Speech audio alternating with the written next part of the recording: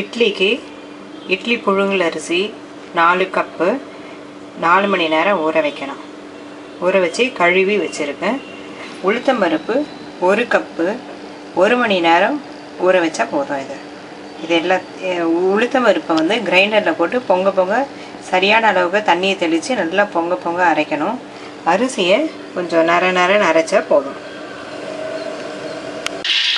தண்ணி இந்த மாதிரி நைஸாக அரைச்ச பிறகு இதை எடுத்துக்கணும் உளுந்து அரைச்ச பிறகு அரிசி போட்டு அரைக்கணும். அரிசி இந்த அளவுக்கு குறை இருந்தால் போதும். இதை எடுத்து உளுந்து அரைச்சி வச்சுருக்கோம் இல்லையா? அதே மாவுலையே இதையும் போடணும். வச்சுருக்கோம். இதுக்கு இப்போ தேவையான அளவு கல் உப்பு போட்டு இதை நல்லா மிக்ஸ் பண்ணி அரிசியும் உளுந்தும் நல்லா மிக்ஸ் பண்ணி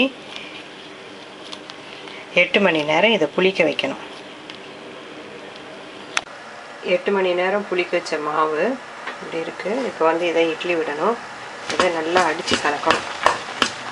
அடித்து கலக்கினா மாவு குறைஞ்சி போயிடும். கலக்கி வச்சுருப்போம்.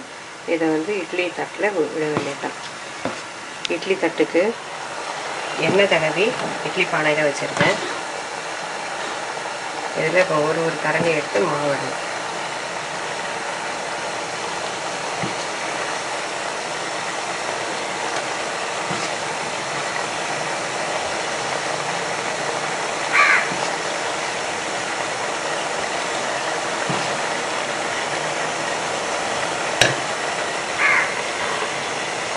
இட்லி ஊற்றியாச்சு இப்போ இதை மூடி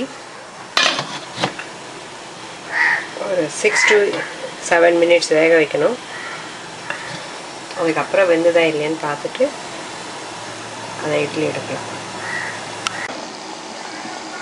தட்டு ஓப்பன் பண்ணி இதில் ஒரு ஷார்ப்பான கத்தியில் வந்து தண்ணியை தொட்டு இட்லியில் இப்படி விட்டு பார்த்தோன்னா ஒட்டாமல் வரணும். ஒட்டாமல் வந்துட்டு இட்லி வெந்துடுச்சு. இப்போ இந்த இட்லி வெந்துடுத்து இதை எடுத்துடலாம். இட்லி ரெடி.